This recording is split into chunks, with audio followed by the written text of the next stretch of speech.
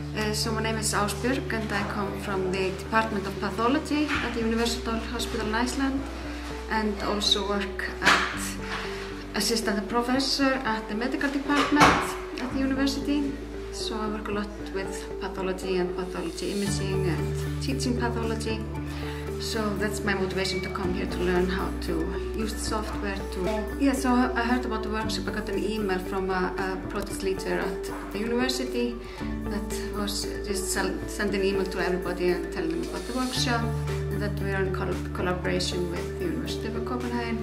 So yeah, that's how I found out. And uh, when I read about the workshop, I really saw that it's going to help me with my research and with my students, masters and doctor students. So that's why I'm here because it's really good, you know, to detect cells because that's the main focus I came here was how to detect different cells in slides and fluorescence images. So it's been really helpful.